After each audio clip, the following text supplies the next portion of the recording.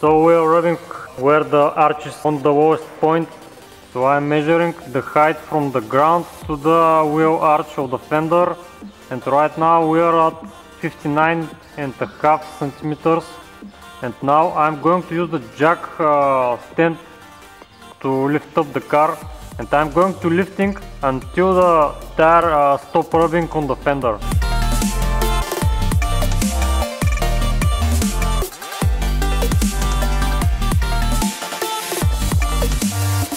So top at 63 or and a half or 64 which is around 4.4.5 uh, uh, centimeters higher. So to have needed clearance to not hit the plastic fender. So right now my front coilovers are set to 60 millimeters. This is the thread that is used uh, to adjust the height previously. So now I'm going to increase that by four and a half centimeters higher so to be able to not rub the plastic fender. I decided that I'm going to install first the camber plate and uh, after that I'm going to adjust the coilover uh, because the idea that I have is not going to work. I don't have so much thread, uh, 4 centimeters and a half. So I'm going to first put the camber plate. After that I'm going to increase with uh, probably 1 or 2 centimeter here and I'm going to test it how higher it's going to get because it's not all simple. It's not just getting the thread uh, the centimeters you need because the spring is going to reflect that differently. So caster plate time. Okay, I removed the coil.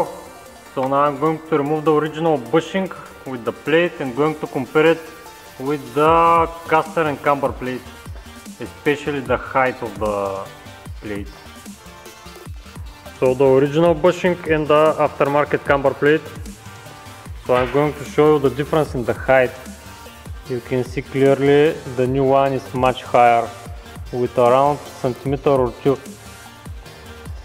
So this is going to help us to lift the front and after that we're going to see how much we're going to need to lift it from the spring so that's why it's important first to install this camber plate and after that doing the adjustment on the cover itself so I'm going to install the camber plate on the shock on the cover we have two washers they are good one to each other and one washer inside for the nut which I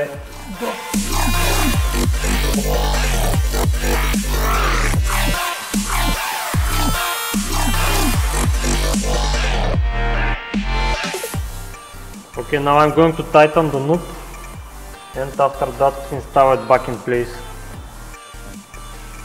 So E36 right side, the right camber plate.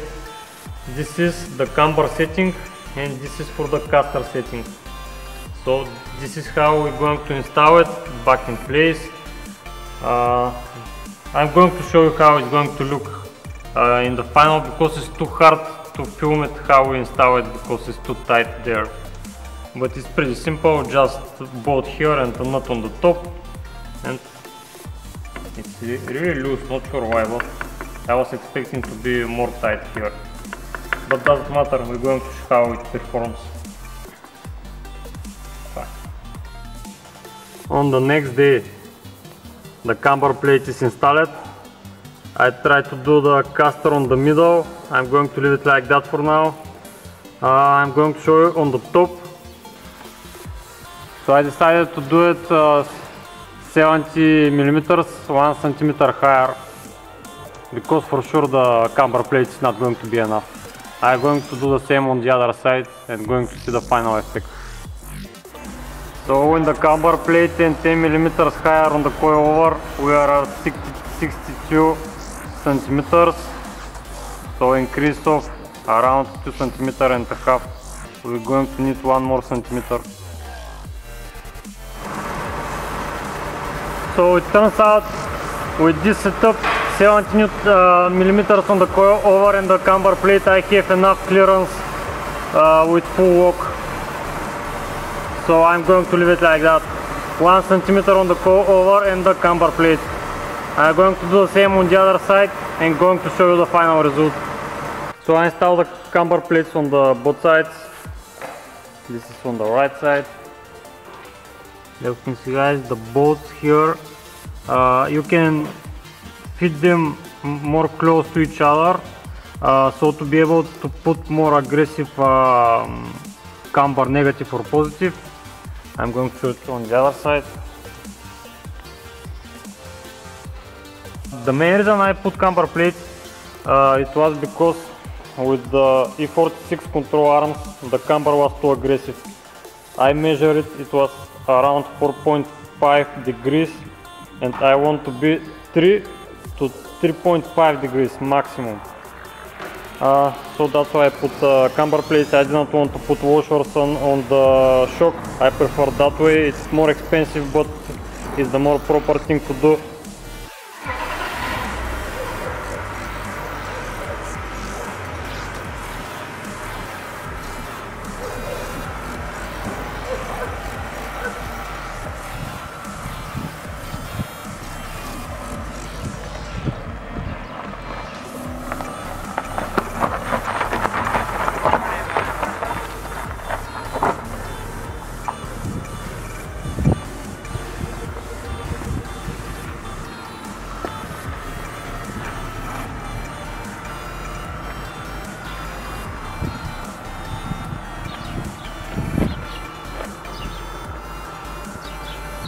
so this is the final look. I'm going to test, test drive it and see is it rubbing anywhere. But now I'm going to go to alignment and going to hope everything to be okay. I'm going to adjust the camber and I'm going to finally do some drift. So just wanted to record what is the results of the alignment so this is the camber that I'm going to run. 3.45 degrees uh, on the both sides. It was 4.5 the camber plate helped me to adjust it. Uh, this is the caster. Like you can see there is a small difference but the operator on the alignment uh, machine told me that this is not uh, not a huge deal. So we left it like that because it was really hard to adjust it uh, I guess the camber, the caster uh, part of the plate is not so good made, but doesn't matter. This is the rear camber that I'm running, uh, which is the least that uh, least negative camber that is possible.